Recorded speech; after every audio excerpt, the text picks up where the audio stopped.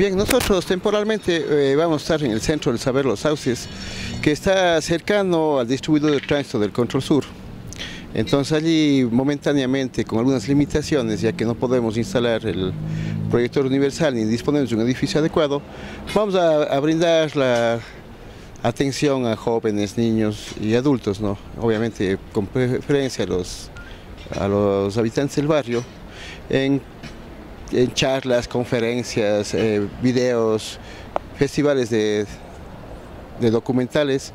Y además, o sea, como vamos a llevar un telescopio y algunos instrumentos astronómicos, haremos también observaciones de campo con la ayuda de los telescopios. ¿En qué horarios van a funcionar? Eh, vamos a funcionar en el horario similar al que teníamos aquí en el planetario municipal, es decir, desde las 9 de la mañana hasta las 5 y media ininterrumpidamente.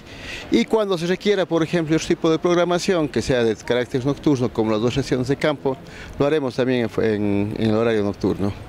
Eh, coméntenos, ¿usted ya sabe las características del nuevo planetario? Eh, tengo entendido que es un planetario mucho más grande que este, ¿no? Tiene un aforo eh, superior a las 100 plazas. Este apenas disponía de 60 asientos.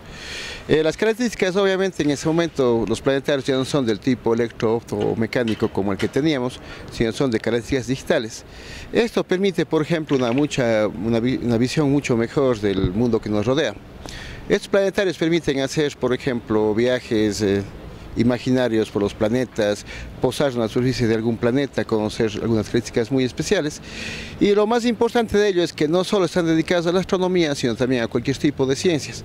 Eh, dispone de películas que puede proyectar en 180 grados, es decir, que abarcan toda la cúpula. Entonces, con lo cual incluso es mucho más espectacular que el IMAX.